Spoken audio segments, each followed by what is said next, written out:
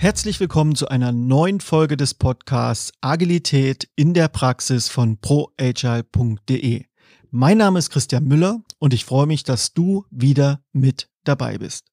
Ja, und heute ist bei mir der Wolfram Böhme. Er ist 52 Jahre jung, kommt ursprünglich aus Brandenburg und er lebt in Jena und ist der Direktor der Universale Jena. Das ist eine Gesamtschule. Und mit ihm werde ich mich darüber unterhalten, wie er als Direktor eigentlich diese Schule führt, was für ihn Bildung im 21. Jahrhundert bedeutet, was Inklusion ist und wie man eigentlich im Bildungskontext Menschen führen kann, sodass sie auch gerne bleiben und vor allen Dingen auch gerne kommen. Denn das ist tatsächlich der Fall bei der Universale, eine Schule, die nicht über Personalprobleme zu klagen scheint. Ich wünsche dir ganz viel Spaß beim Zuhören.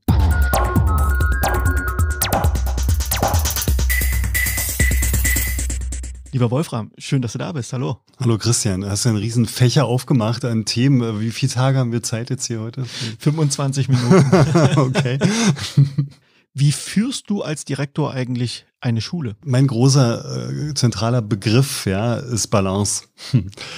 Ähm, ich, das Team meiner Schule hat 60 Pädagoginnen und Pädagogen. Das sind bei uns, die gehören drei unterschiedlichen Professionen an, sind äh, Fachpädagoginnen, sind Sonder- oder Förderpädagoginnen und Sozialpädagoginnen. Und letztere ähm, haben im, als Kern die Aufgabe, Schülerinnen und Schüler ähm, teilhaben zu lassen ähm, an einem Regelschulbetrieb sozusagen, der die eigentlich in älteren Systemen ausgesondert in Förderschulen waren, weil sie verschiedene Einschränkungen haben. Ja.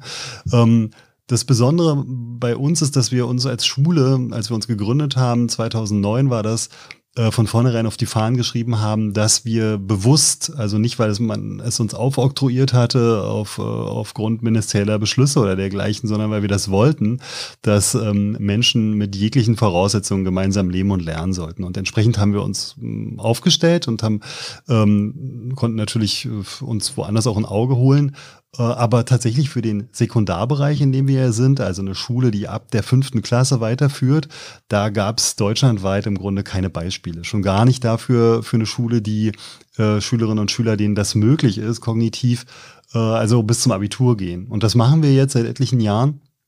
Ähm, und zurück zu deiner Frage, wie, wie führt man dann so eine Schule? Kannst du dir also vorstellen, dass dort äh, mit 60 Akteurinnen und Akteuren allein, also im professionellen Bereich, dass da eben auch 60 Persönlichkeiten sind, ne?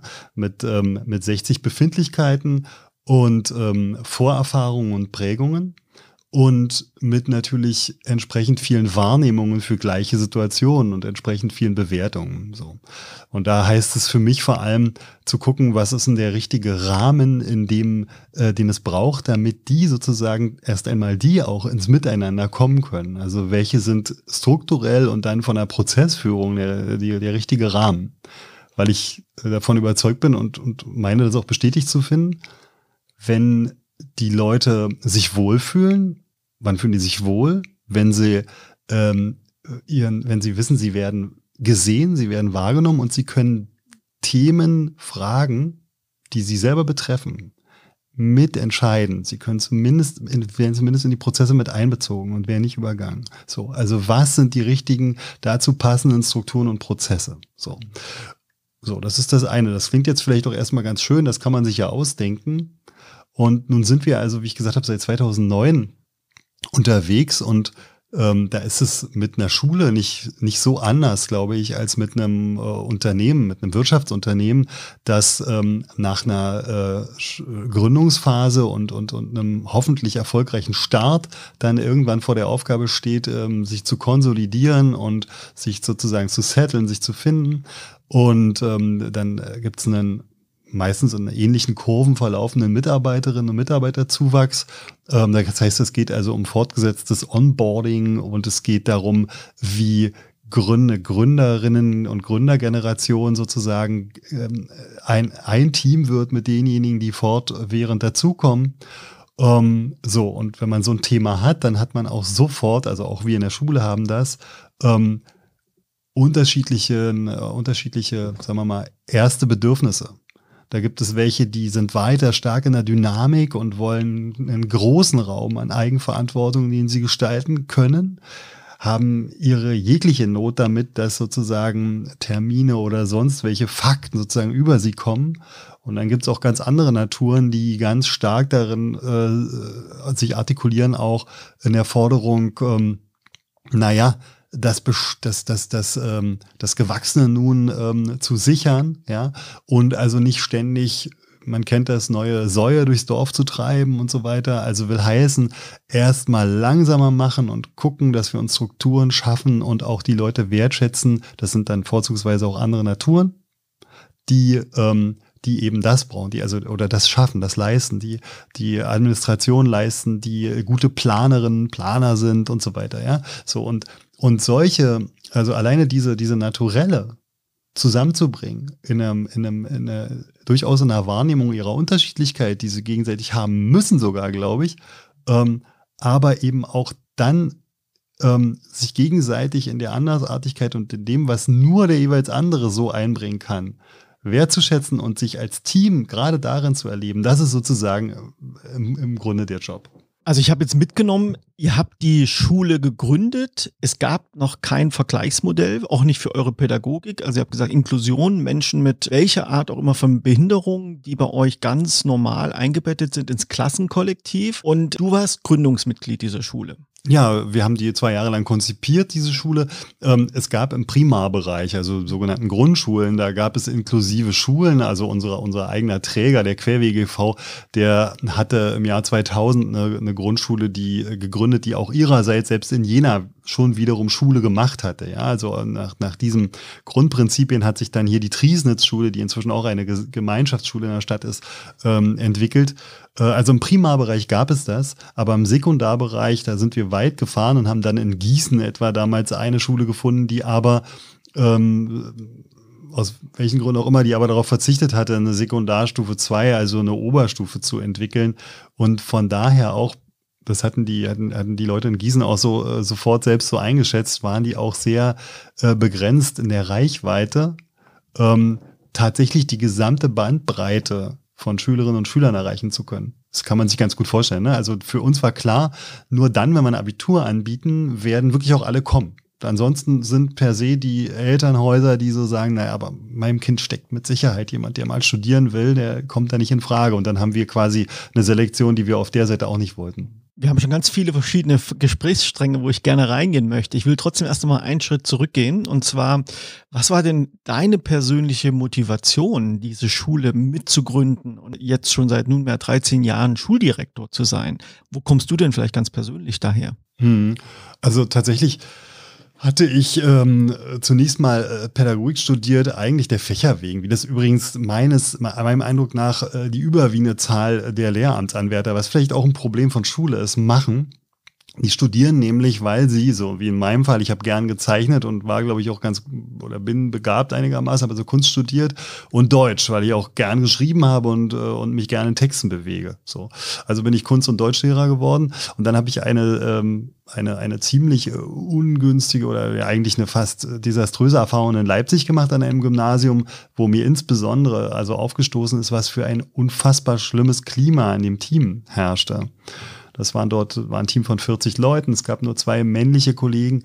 Ähm, und dies, ähm, das mag aber in anders, äh, geschlechtlich anders gewichteten Teams vielleicht sich nicht anders darstellen, aber es war ein, ein, ein, ähm, ein Klima des absoluten Misstrauens und äh, der vielerlei Grüppchen und so weiter. Und äh, ich wollte schon, schon äh, allein deshalb dachte ich mir, Schule wird nichts für mich. So, aber dann, ähm, ich war parallel übrigens ähm, war ich über 13, 14 Jahre ähm, Pressesprecher des, des Festivals in Ruderstadt und ähm, habe auch gedacht, okay, das ist viel mehr für, was für mich in der Richtung was zu machen und hab, bin dann eigentlich nur ähm, aus Vernunftgründen habe ich gedacht, okay, erst Staatsexamen ist ja gewissermaßen äh, nichts wert und mein Lehrer äh, ist sozusagen, man muss das zweite machen. Und dann dachte ich, okay, ich mache das zweite Staatsexamen und hatte dann dann Glück, dass ich in Gera habe ich das gemacht, am Roteneum äh, Goethe-Gymnasium und hatte da eine, hatte zwei wunderbare Mentorinnen und, und, und wirklich auch ein Klima, wo ich dachte, okay, das kann man doch machen. Hab, hab, eine, hab eine große Nähe äh, zu den Schülern und Schülerinnen empfunden, also damit das, also dieses, das, das, ähm,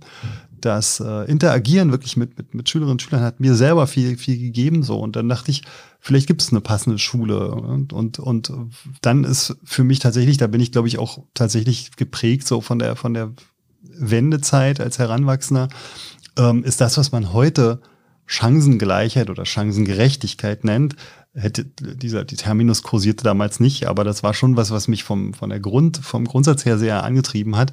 Und dann kam ein gab es einfach schlicht und einfach einen Aufruf in der Zeitung, den ich las. Das nämlich besagte Grundschule aus dem Querwege sozusagen. Da gab es Eltern, Pädagoginnen, die wollten gerne, ähm, dass dieses, dieser Weg, nämlich gemeinsam unabhängig von den individuellen Voraussetzungen gemeinsam äh, leben und lernen zu können, dass das nicht nach der, nach der Grundschule, nach der vierten Klasse beendet ist. Und äh, suchten vor allem nach Lehrerinnen und Lehrern, die auf sowas Lust hatten und sowas entwickeln wollten. Das war 2007, da haben wir zwei Jahre das Konzept entwickelt. Hier in der Region, diese Schule steht in Jena, ist es so, dass es eine Art Warteliste mittlerweile gibt. Also Menschen möchten gerne, dass ihre Kinder auf eurer Schule ihren Schulalltag verleben. Was glaubst du, woran das liegt? Was macht ihr anders als zum Beispiel eine staatliche Schule, von denen es ja viele gibt? Was unterscheidet euch? Ich sage das jetzt nicht nur aus Artigkeit, das vorweg, dass es genauso tatsächlich in Jena auch äh, staatliche Schulen gibt, die ähm, ein ähnliches Renommee haben wie unsere Schule und die auch inzwischen, das ist, das ist aber, glaube ich, ein Stück weit auch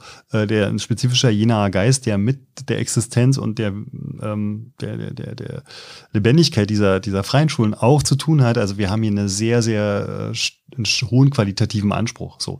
Und auch staatliche Schulen tatsächlich werden ähnlich frequentiert, ähnlich stark nachgefragt. Ähm, nicht alle, aber doch einige. So. Und warum Leute auch zu uns wollen oder auch besonders zu uns wollen, ähm, hat äh, bestimmt verschiedene Gründe, aber ich glaube, einer ist ähm, liegt darin, dass tatsächlich die, die, die Leute sich bewusst dafür entscheiden, mein Kind oder ihr Kind in einen, ähm, eine Schule geben zu wollen, die eben ähm, den, dem Anspruch der Inklusion, einfach den Anspruch der Inklusion für sich verfolgt. Ähm, ja, oftmals, das denken wir schon auch, mit dem Blick auf das eigene Kind, naja, so ohne ist mein eigener auch nicht. Ne? Das äh, braucht schon mal auch tatsächlich einen, einen, starken individuellen Zugang und Nachsicht und so weiter. Und das können wir, glaube ich, von der Schule dort erwarten. Das äh, wird auch viele äh, zu uns bewegen. Äh, und äh, dann daneben sind, ist es unsere unser Mehrpädagogensystem, das wir haben, also ich hatte das, glaube ich, am Anfang angesprochen, aus drei Pädago äh, pro, pädagogischen Professionen kommt, setzt sich das zusammen. Ähm, und es ist auch ein deutliches Bekenntnis zu offenen Lernformen. Ja, also wir haben neben den Kursstunden, ähm, die vergleichbar sind von der Anlage her zu dem, was an äh, was, was landläufig so bekannt ist, haben wir Projektzeiten, das heißt äh, zehn Stunden in der Woche, ähm, lernen die Schülerinnen und Schüler projektorientiert. Und wir haben auch in allen Jahrgängen ähm, Selbststudiumsphasen und dazu noch explizit sozusagen dem, dem, dem selbstorganisierten Lernen gewidmete Pro ähm, Formate. Vom fünften bis hoch zum zehnten Jahrgang. Und gleichzeitig ist es auch so, dass ihr erstens, und das unterscheidet euch wohl von staatlichen Schulen, im Grunde kaum Probleme habt, Lehrerinnen und Lehrer zu finden gleichzeitig auch fast gar keine Abgänge habt, also kaum Menschen euch verlassen. Was glaubst du, woran liegt das? Was macht ihr anders als viele Schulen, die im Moment sehr stark unter dem Thema Personalmangel leiden. Wenn wir jetzt in Größenordnung noch aufbauen müssten, dann hätten wir im Moment auch mit dem allgemein, mit dem, mit dem schlicht leer gesaugten ähm, Lehrerinnen- und Lehrermarkt zu tun. Aber äh, umso wichtiger ist es, äh, dass, dass wir ähm, wirklich es ernst nehmen, dass es nicht immer nur um Headhunting, sondern eigentlich um Headkeeping geht. Also es geht darum, was, was, was lässt denn Menschen wirklich gern und gut arbeiten und sich sozusagen nicht in einem Entfremdungsraum äh, fühlen, sondern in einem, wo sie als ganze Persönlichkeit bewusst hingehen und sozusagen nicht am Ende des Tages ähm, äh, einen Haken dran machen und dann erst sozusagen ihr Leben starten können. Und das ist, glaube ich, äh, tatsächlich in vielen äh, Organisationen, ich denke auch in etlichen Schulen, die unter einem, unter, also äh, da wirken verschiedene Druckpunkte, ja, die das bewirken, ähm, tatsächlich aber so ist, dass Leute wirklich ähm, viele ähm, mit, äh, ja, mit alle Kräfte zusammennehmen müssen, um dort zu bestehen und dann ähm, wirklich erstmal irgendwie eine große Erholung brauchen und, und irgendwie vielleicht noch einen Rest vom, vom Feierabend so sowas wie Leben bedeuten könnte. Aber nochmal, Ja. warum ist das bei euch nicht so? Wir haben zum einen natürlich die mit anderen Schulen so kaum vergleichbare Situation, dass wir schon auch bewusst einstellen konnten. Also wir, da kommt jetzt kein Amt und rekrutiert äh, en gros Lehrerinnen und Lehrer und verteilt die auf Schulen, sondern wir konnten selbst ähm, die Gespräche führen mit Bewerberinnen und Bewerbern und haben sicherlich von vornherein auch mh, bestimmte, bestimmte äh, äh, Persönlichkeiten angezogen. Ja, die, die, nicht nur die, die woanders jetzt nichts bekommen hatten, weil zu einer Zeit lang tatsächlich der, der, ähm, der Markt sozusagen noch gar nicht wieder frei war, äh, das Land nicht eingestellt hat. Ähm, die sind, denke ich, gar nicht bei uns gelandet, sondern ähm, es sind solche, die, die wirklich von der Idee auch mit der Idee was anfangen konnten. Also das glaube ich auch deshalb ganz eher, weil die sonst schon lange wieder weg wären. Ja, denn das muss man auch sagen, äh, als eine freie, freie Schule sind wir trotz aller Klimmzüge, die der Schulträger macht, nicht in der Lage, eins zu eins das Gehalt äh, zu, zu zahlen, was sozusagen und schon gar nicht, was äh, verbeamtete Lehrerinnen und Lehrer im staatlichen Schuldienst verdienen. Also insofern ist das vielleicht auch nochmal ein, besonderer, ein besonderes Ausrufezeichen hinter die Situation, dass wir ein stabiles Team halten können, jetzt schon über Jahre. Äh, und das zum Glück auch in, in, in Fachkombinationen, die, die äh, ja, also in ganz Deutschland ähm, jederzeit gesucht sind. Ähm, das, das, ist, das ist wirklich gut und ich denke also nicht nur das, äh, das dieses, diese, diese ähm, Frage der, Ein, der, der, der, der Einstellungen ähm, war zentral, sondern dass wir uns wirklich auch früh ähm, immer wieder Gedanken gemacht haben und wie man Teampflege, so hat man das früher altmodisch genannt, ja, wie man das betreibt und das und das dann nicht dabei belassen haben, ähm, da irgendwie eine Einladungsveranstaltung zu machen, wo der Arbeitgeber mal äh, einen ausgibt und man vielleicht noch irgendwas Gruppendynamisches macht, einen Vormittag lang, sondern wie man wirklich die Räume beschreibt und ähm, Freiräume dafür auch plant, organisiert, in denen die ähm, Leute richtige Prozesse führen können. Ja, in denen sie nicht nur eine Aufgabe zugewiesen bekommen, sondern auch die Möglichkeit haben, den Weg dahin zu, zur Lösung sozusagen selber zu zu, äh, zu konzipieren und zu beschreiten. Also ich fasse zusammen, ihr zahlt weniger als das typischerweise andere Schulen, vor allen Dingen staatliche, können. Ihr habt im Moment noch wenig Probleme, neue Mitarbeitende zu finden. Und ihr habt einen relativ stabilen Lehrkörper. Das heißt, euch verlassen fast gar keine Pädagogin oder Pädagogen. So kann man das sagen, genau. Also ist so ist es tatsächlich. Ja. Ähm, man kann nie in die Zukunft schauen, deshalb, ne, man wird jetzt irgendwie mal auf Holz klopfen und so weiter, weil ähm, natürlich man kann viel, man muss ja ganz klar sagen, man kann es als Organisation und, und, und als Führungskräfte sozusagen, wir sind ein Führungsteam, ist auch ganz wichtig, ja, in denen alle, alle pädagogischen Professionen vertreten sind. Also ich, ich denke, das ist strukturell schon sehr, sehr wichtig. Ähm, äh, da kann man schon einiges tun dafür, dass die Leute sich da wohlfühlen und auch keine Entscheidung sozusagen ähm, treffen, zumindest nicht in Größenordnung mal wegzugehen. Ähm, aber natürlich gibt es ganz andere Einflussgrößen, wo man dann einfach vielleicht auch zur Kenntnis nehmen muss, okay, in diesem Jahr sind das dann vielleicht doch mal drei Leute, die uns wehtun, ne? Oder sowas, ja. Und jetzt würde ich trotzdem gerne noch mal ran, ich würde gerne den Nukleus finden, sozusagen. Was, was macht ihr anders? Was ist der Kern eurer Organisationsweise? Warum Menschen sich dafür entscheiden, zu euch zu kommen und bei euch zu bleiben. Das ist ja, ich meine, Menschen finden ist das eine, aber die Menschen zu halten, da bewährt sich und beweist sich letztlich ja etwas, was, wenn wir jetzt mal in die freie Wirtschaft schauen, vielen Unternehmen nicht mehr gelingt. Den gelingt es schon gar nicht, Menschen zu finden in ausreichendem Maß, aber die dann zu halten über eine Zeit, die es braucht, das ist ganz oft noch schwieriger. Und das würde ich gerne mal herausfinden, was macht ihr da anders? Die potenzielle ähm, künftige Mitarbeiterinnen und Mitarbeiter sind ähm, Studierende, im Praxissemester.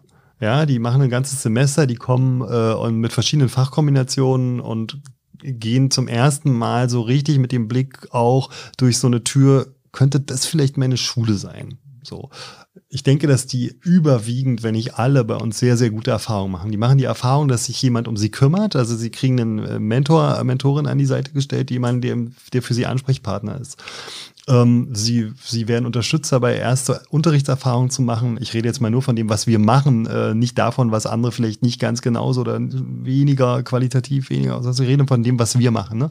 Ähm, so und, und insofern kommen von denen viele die gerne Referendariat, das ist dann der nächste Schritt. Ne? Nach dem Hochschulstudium sozusagen gibt es eine zweijährige äh, Ausbildungszeit an der Ausbildenden, an der Ausbildungsschule. Ähm, das ist eine, sozusagen eine, eine ähm, duales Prinzip. Da hat man die Theorie hat man an einem staatlichen Studienseminar und die Praxis an der Ausbildungsschule. Also ähm, von den Praxissemestern kommen nach dem Hochschulstudium viele und möchten gern bei uns ihr Referendariat machen. Und tatsächlich ist es zuletzt so gewesen, dass diejenigen, die das bei uns gemacht haben, die wollten bleiben. So. Ähm, dann äh, Leute, die nicht direkt, also die potenzielle Wechselkandidaten, aber wir haben auch schon aus tatsächlich aus dem staatlichen Schulsystem eine Kollegin übernommen. Äh, da ist es einfach auch die, die, die ähm, tatsächlich auch das ähm, äh, Mehrpädagogensystem, dass die also das sehr zu schätzen wissen, nicht allein Kämpfer zu sein in einer Lerngruppe. Ähm, und äh, es ist es ist auch die, die, auch, ach so, und dann ist es natürlich ganz klar, dass wir, das, das hören wir ganz oft, dass, dass wir wirklich auch empfohlen werden. Ne?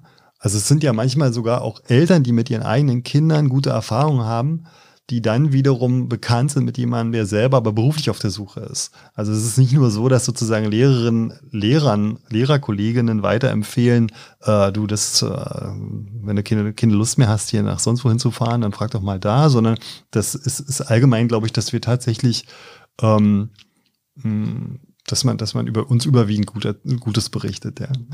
Und trotzdem möchte ich gerne noch mal verstehen, wie bei euch Führung, aber auch Zusammenarbeit wirklich funktioniert. Ich kann mir vorstellen, dass wenn ich das als Organisationsmodell auch zulasse, dass die verschiedensten Persönlichkeiten zum Vorschein kommen, dann ist das wahrscheinlich auch nicht immer leicht, sondern ich könnte mir vorstellen, dass es da auch Konflikte gibt. Also wie orchestrierst du das als Direktor? Es ist fraglos so. Also dass, dass man natürlich auch wirklich das, die, die, du hast in einem, ich versuche es mal ein bisschen anschaulich zu machen. Ähm, wir haben Meetings, in denen die unterschiedlich zusammengesetzt sind. Also es gibt zum Beispiel ein Meeting, das ist regelmäßig, in dem treffen sich alle Fachpädagogen und Fachpädagogen. Dann gibt es ähm, Meetings, in denen trifft sich ein Doppeljahrgang. Das sind, die sind dann drei Professionsgemischt, aber die, die überwiegend in einem Doppeljahrgang, so sind unsere, ist unsere Schule strukturiert, die lernen immer in zwei Jahrgängen, also die 5, 6, 7, 8 etc. So, die die haben auch ein Meeting so.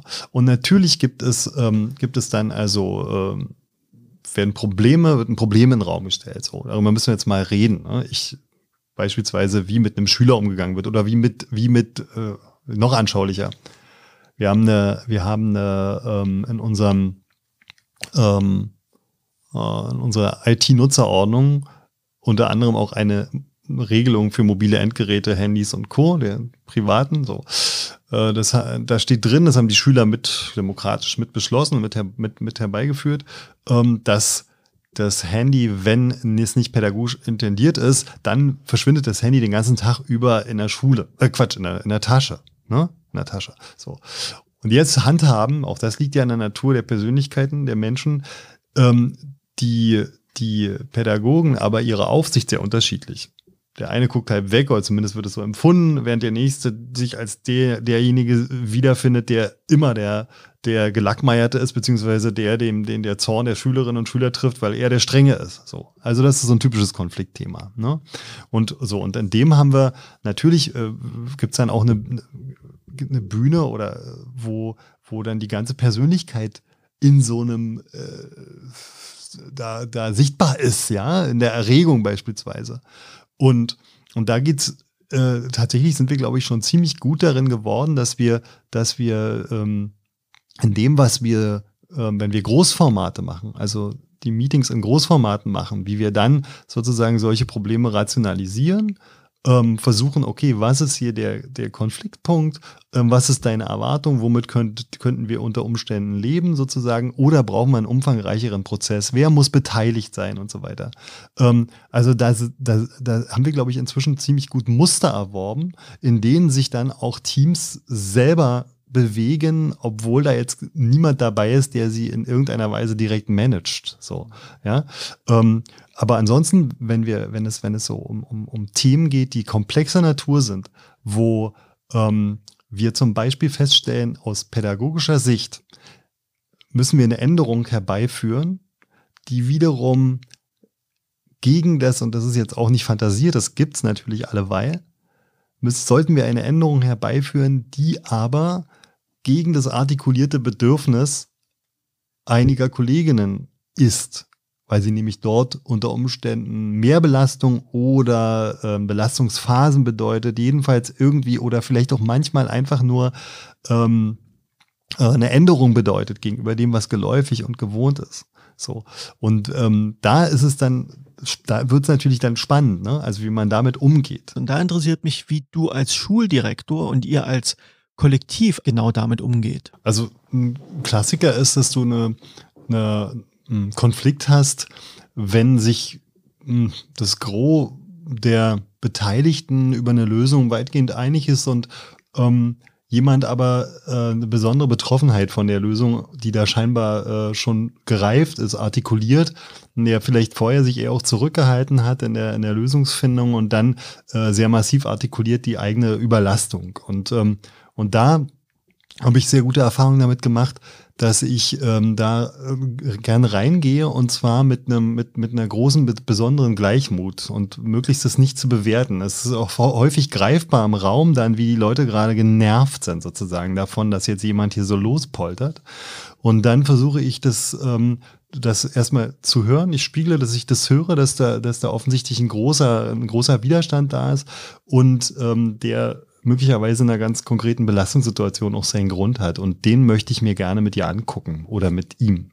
Und dass wir sozusagen erstmal auf der rationalen Ebene dann doch eine Lösung erstmal so weit committen können und, ähm, äh, und, und uns auf eine verständigen können, meine ich natürlich.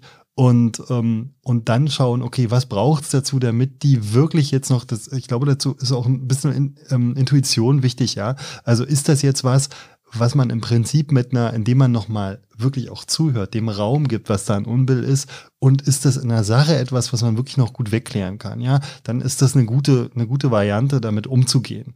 Also grundsätzlich würde ich verallgemeinern, wenn, so, wenn sowas auf einem Meeting passiert, ist es besonders brisant.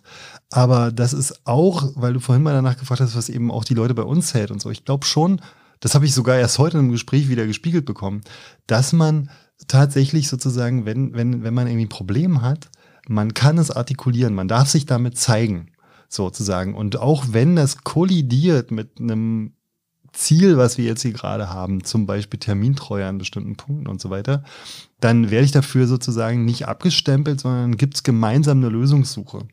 An welcher Stelle können wir dich entlasten oder was belastet dich? Und oftmals ist es tatsächlich einfach schon das Gefühl, boah, ich konnte das jetzt hier sagen, was mich erleichtert.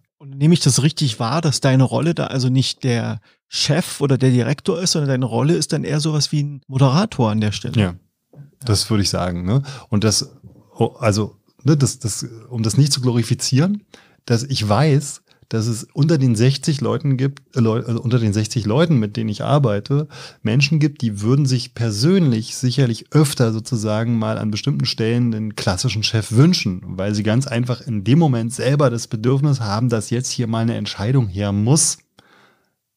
Sicherlich nicht den Perspektivwechsel unbedingt unternehmend äh, äh, zu demjenigen oder derjenigen hin, zu dessen Lasten dann diese erwartete, gewünschte Entscheidung fallen würde. Ne? Mich treibt noch eine Frage um. Ihr bekommt vom Kultusministerium einen Lehrplan vorgegeben, den ihr ja mehr oder weniger erfüllen müsst und habt aber gleichzeitig selber einen bestimmten Anspruch an Didaktik. Du hast vorhin auch was erwähnt, was ich ganz spannend fand, dass auch demokratische Entscheidungsfindung stattfindet, auch unter den Schülerinnen und Schülern. Wie gelingt es euch, euren Anspruch einerseits aufrechtzuerhalten, aber auch den euch letztlich aufoktroyierten Lehrplan zu erfüllen? Also wir haben tatsächlich den, den, den Spagat, ähm, nämlich es gibt Einheitsprüfungen, ja, die sind ganz stark auf das, was die Pädagogen und Pädagoginnen ähm, äh, Sachkompetenz nennen, also im Grunde viel noch immer auf Faktenwissen und auf einfachen, äh, reproduzierbaren Operationen. Ähm, und die muss man können und, und gelernt haben, viel, viel auswendig gelernt haben, nach wie vor auch im Abitur. Das heißt also, daraus, aus der Nummer kommen wir nicht raus. Ähm, wir können also sozusagen nur, böse gesprochen, vielleicht in homöopathischen Dosen, also wir können nur im begrenzten Rahmen sozusagen die Freiwilligkeit auch von äh, selbstgewählten Lern Lernthemen ähm, eröffnen. Und was wir sozusagen letztlich, auch wieder sehr selbstkritisch gesagt, kompensatorisch noch tun, ist, ich hatte das vorhin schon mal angesprochen, sind ähm, äh, tatsächlich spezielle Formate selbst zu selbstgesteuertem Lernen. Und die haben wir vom, vom fünften Jahrgang an, wo wir im fünften, sechsten Jahrgang Werkstätten haben, wo man sich sozusagen wahlpflichtig einwählen kann zwischen performativen Werkstätten, sportlichen, handwerklichen. Ähm, im, im, Im siebten macht man Verantwortung, da geht man raus sozusagen an andere Einrichtungen und macht sozusagen erstmal die Erfahrung, dass man, dass man regelmäßig dort sozusagen auch einen Dienst im Kindergarten, Altenheim etc. tut. Ähm, danach gibt es ein ganz spannendes neues Format im, im achten Jahrgang, das heißt Neuland. Das ist, äh, kommt ohne jegliche externe Bewertung aus, wird man quasi nicht, da wechseln unsere Lehrerinnen und Lehrer in die Rolle des Coaches sozusagen und ähm, coachen so, nur Gruppen, die sich selbstgestellte Ziele äh, stellen, also selbst, selbstgestellte Ziele verfolgen. Ne? Und das aber nur mal zur Vorstellung, das machen sie in zwei Umfang von zwei Wochenstunden. Aber immerhin, ja. Und ansonsten, ich sprach schon davon, ähm, sind unsere äh, gesellschaftswissenschaftlichen äh, und die naturwissenschaftlichen Fächer über, überwiegend in Projektformaten und die erlauben zumindest Handlungsorientierung und erlauben zumindest, wie gesagt, ähm, das Auffächern von verschiedenen Themen, wo man sich häufig neigungsorientiert so ein bisschen profilieren kann. Das ist der Spagat. Okay, also ich merke schon, dass ihr da versucht, in dem Korridor, in dem ihr euch bewegen könnt, das schon so weit auszureizen, mit eurer Pädagogik ja so viel wie möglich auch an Freiheit und selbstorganisierten Lernen auch zu ermöglichen. Auch spannend, dass LehrerInnen die Rolle Coach wechseln. Da würde ich mich mal sehr interessieren, wer die Coaches denn letztlich coacht, aber das ist ein anderer Podcast. Wolfram, zum Abschluss nochmal, was müsste sich denn im Schulsystem ändern, damit wir auch im Thema Zukunftsfähigkeit und auch als Gesellschaft profitieren können? Ich glaube, dass ähm, von äh, das Ganze vom Ende her zu denken ist. Also wir haben Einheitsprüfungen, ähm, habe ich vorhin schon angesprochen, ähm, die setzen sozusagen den, den Lehrerinnen und Lehrern für ihre jeweiligen Fächer unheimlich enge Korsetts. Ähm, in Englisch beispielsweise sind ganz konkrete Themen vorgegeben, die, wo die Lehrerin, das ich hatte gerade jüngst mit der Fachschaft Englisch ein extrem äh, für mich aufschlussreiches Gespräch, wie stark die sich unter Druck fühlen, dass sie wirklich möglichst alle Themen abgesichert haben, zu denen dann äh, Prüfungsaufgaben gestellt werden können, damit die in der Lage sind, dann diese Darstellung zu leisten. So. Und so ist es natürlich, äh, also hauptsächlich in den Fächern mit Einheitsprüfungen. Das ist dann ähm, auch in Biologie im Abitur der Fall, wo unglaublich viel auswendig zu lernen ist. Also mit anderen Worten, wir ignorieren an dieser Stelle noch vollständig, dass das schiere Wissen und selbst einfache Methoden ja heute instant verfügbar sind. Und, ähm, und dass alle Schülerinnen und Schüler das ja auch ständig praktizieren im Alltag das, was die wirklich bewegt, sind die innerhalb kürzester Zeit in der Lage, sich draufzuziehen. Die sind alle viel fitter. Also ich würde sagen, nahezu jeder ab siebten Jahrgang ist fitter, ähm, Multimedia-Produkte zu erstellen als alle Lehrerinnen und Lehrer zusammen. Weil die das wollen und deshalb auch schnell lernen. Das ist verfügbar. So. Also was, was kann denn Schule dann leisten an sich? Und das sind Räume eröffnen und gute Partner sein. Pädagogen und Pädagogen können sehr gute Partner sein, darin sozusagen sich selber auf die Spur zu kommen und natürlich auch Relevantes zu lernen. Und ja, Schule sollte dringend ähm, ein Erfahrungsraum sein, dafür auch äh, schwierige Aufgaben sozusagen in Kollaboration anzugehen unterschiedliche Rollen einzuüben, sich in unterschiedlichen Rollen zu finden und so weiter. Und für all das ist sehr marginal Platz, weil die noch, noch immer sozusagen die Prüfung und die von dorther nach unten strukturierten Lehrpläne ein, ein sehr enges Korsett machen.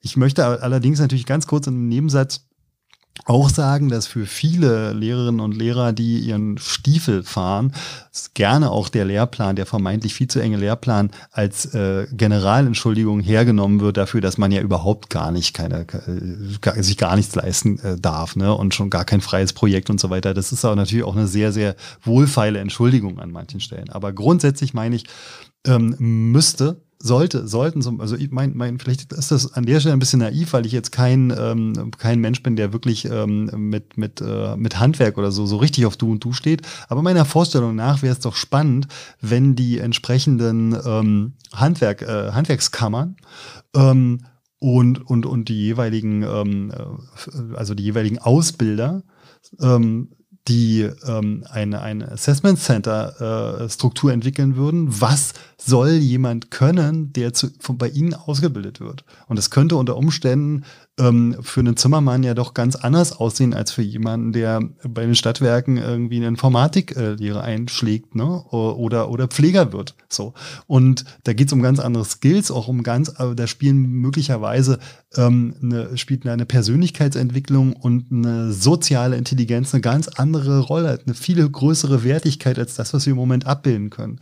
Und wenn dann Schule so wäre, dass man sozusagen ab einer bestimmten Stelle ähm, tatsächlich spe sich spezialisieren könnte und dann auch bestimmte Skills entwickeln und nachweisen könnte, dann wäre das aus meiner Warte grundsätzlich für Auszubildende, erstens, es wäre relevantes Lernen, es wäre Lernen, was näher an der Persönlichkeit, an den, an den, an, an, am Individuum liegt und es wäre aus meiner Sicht letztlich viel anschlussfähiger für diejenigen, die am Ende ausbildende Betriebe oder eben auch natürlich Universitäten, Hochschulen wären und so weiter, die das in ähnlicher Weise für ihre Studiengänge machen müssten. Das so wäre so meine Vision. Ich glaube, da kann auch die Wirtschaft viel davon lernen, ne, von dieser Vision. Also ist ja oft in der Wirtschaft nicht anders, dass man einen festen Plan vorgibt, einen festen Rahmen definiert und in dem muss dann alles stattfinden, statt auch mal die Persönlichkeitsentwicklung auch weiterhin zuzulassen. Die ist ja nicht abgeschlossen. Menschen entwickeln sich ja auch bis ins hohe Alter weiter. Und aber auch mal zu schauen, worum geht's denn eigentlich an der Stelle wo geht's denn eigentlich hin? Ich glaube, allein darüber könnten wir jetzt noch, ein, noch einen ganzen Podcast machen. Zum Abschluss, wir sind ja hier im Podcast Agilitäten der Praxis. Das ist ja auch nicht ganz äh, zufällig, dass du da bist. Ihr habt bei euch in der Schule Menschen, die ausgebildet sind als Scrum Master. Ihr habt vor kurzem Retrospektiven durchgeführt. Was habt ihr denn von dem Thema Agilität gelernt? Ihr habt ja euch viele Impulse in den letzten Jahren auch gehört. Was hast du denn da so mitgenommen? Was war für dich vielleicht inspirierend, wo du sagst, da trifft sich was in der Schule, was äh, bereichernd ist? Hm. Also was für mich ganz besonders wichtig war, ist, äh, vorgefunden hatte ich ja ähm, und mitentwickelt, glaube ich, auch und auch gepflegt, eine grundsätzlich hohe Bereitschaft zur Innovation, eine Freude und eine Neugier, äh, innovativ zu sein, sozusagen. Ja? Ähm, und auch neue Dinge zu probieren und, und, und, und ähm, äh, auch eine hohe Fehlerkultur, insofern, dass Dinge schiefgehen können und so. Aber gleichzeitig auch ein gewisses Ungenügen und Unbehagen, dass oftmals die Dinge zu sehr leer laufen. Also, dass wir uns oft treffen und, und, und, und, und, und meinen, oh ja, das müssten wir mal und so weiter. Dann werden Dinge angegangen, aber nicht kontinuierlich fortgeführt.